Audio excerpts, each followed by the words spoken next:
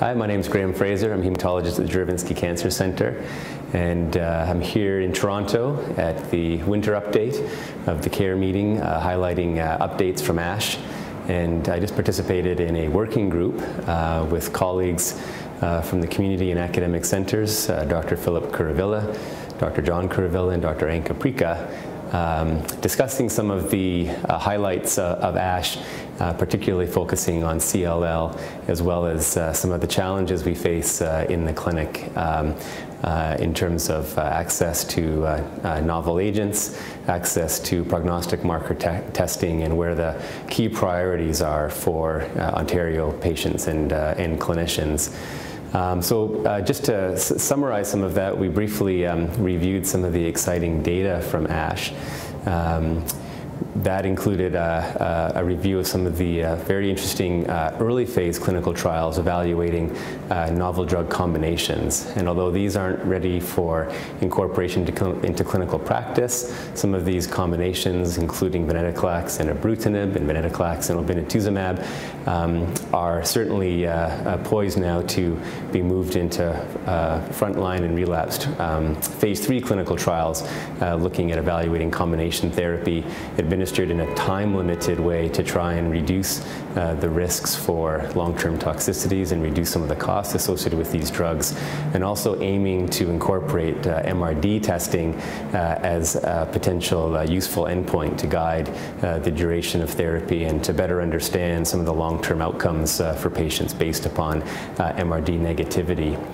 Uh, we also reviewed the, uh, the data from the Murano trial, a randomized trial evaluating venetoclax and rituximab versus bendamustine and rituximab um, showing for the first time that a chemo-free regimen uh, in the relapsed refractory setting is associated with an improvement in uh, both overall response rates, MRD negativity rates, progression-free, and overall survival compared to an effective uh, uh standard chemoimmunotherapeutic regimen of bendamustine and rituximab. And so uh, this uh, results of this trial really do provide now another standard treatment option for patients in the relapsed refractory setting.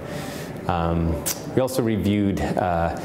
the potential impact of um, prognostic marker testing and MRD testing uh, as it relates to clinical practice currently. I think the consensus of, uh, of the working group was that MRD testing is probably not ready yet for prime time clinical decision making, but certainly given the direction of future trials and the anticipation that MRD um, negativity or, or, or at least MRD endpoints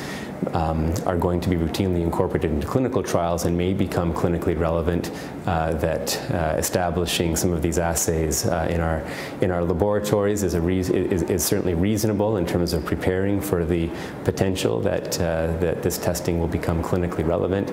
Um, we also spent a lot of time talking about access to prognostic markers, which um, we really felt is a current gap uh, in Ontario. Um, most uh, centers do not have routine access to P53 mutational testing, and it's only very recently that there's been access to immunoglobulin heavy chain gene uh, testing, uh, and that really is through a um, grant from Janssen, who has been um, allowing us to uh, get that information uh, through a lab, uh, through the lab in, um, in Montreal. Um, so I think that uh, something for uh, probably that needs to be focused on is a pan-provincial strategy for uh, routine access to prognostic markers that are likely to be important for clinical decision making. And now that we have funding for frontline ibrutinib in uh, unfit or elderly patients, um,